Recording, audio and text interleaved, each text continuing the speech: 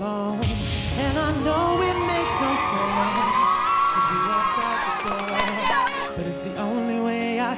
Your voice anymore. Ah, it's been months for some reason I just and I'm stronger than this, yeah.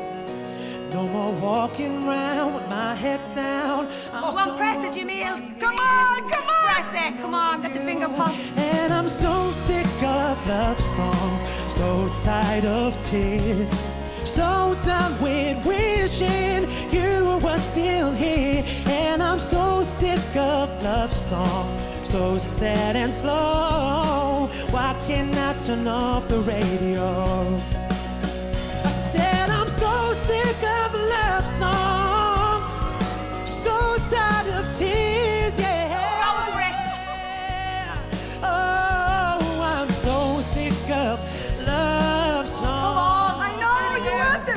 So why can I turn off the radio?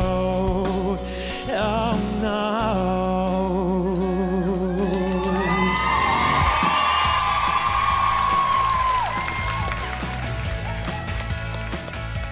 Yeah, you're looking now? Hey, what's her name? Gerard.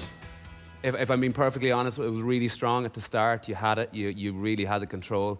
But for a contemporary urban singer, the real money shot is when you go up and you lost it. But you got it back the second time around. I think you probably developed very quickly, though. That's the type of voice it is. It's not a million miles away. When it comes to R&B, obviously that's the world that I'm from. That's what I'm used to. And so when I'm hearing you come and come on and sing a Ne-Yo song, for me you have to sing it as good as Ne-Yo or better. And I do actually think you may have the capability there. And for me, you may be the one that got away. Yeah, I am a bit gutty because when I turn around, you're so cute, and it's like, oh.